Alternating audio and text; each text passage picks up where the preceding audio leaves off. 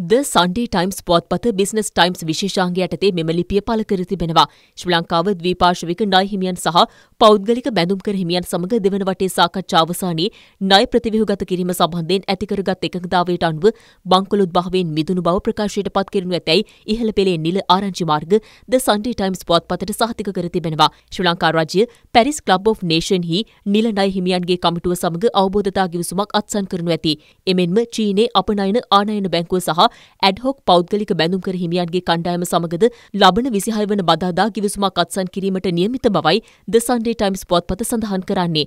දෙදහස් විසි දෙක වසරේ අප්‍රේල් දොළොස් වන දින ශ්‍රී ලංකාව නිල වශයෙන් බංකුලුත් භාවයට පත්ව ඇති බව නිවේදනය කළා. ශ්‍රී ලංකාවේ ණය තිරසල භාවයට සහයවීම සඳහා අදාළ රටවල් සහ ජාත්‍යන්තර මූල්‍ය ආයතන සමග අකණ්ඩව කටයුතු කිරීමට ඉන්දියාව හා චීනය කැමැත්ත පළ කර ඇති අතර ද්විපාර්ශ්වික ණය හිමියන් සමග ගිවිසුම් ඇති කර ගැනීම සම්බන්ධයෙන් සහතිකයක් ලබා දී ඇති බව මෙම සාකච්ඡාවලට සම්බන්ධ රජයේ ඉහළ පෙළේ නිලධාරියෙක් ද සන්ඩේ ටයිම්ස් පුවත්පත වෙත පවසා තිබෙනවා. පෞද්ගලික බාහිර ණය හිමියන්ට සහ ශ්‍රී ලංකාවට හිතකර ණය ණය ප්‍රතිව්‍යුහගත කිරීමේ යෝජනාවක් මත මෙම එකඟතාවයට එළඹි බවද ඔහු සඳහන් කළ බවයි ද සන්ඩේ ටයිම්ස් පුවත්පත වාර්තා කරන්නේ.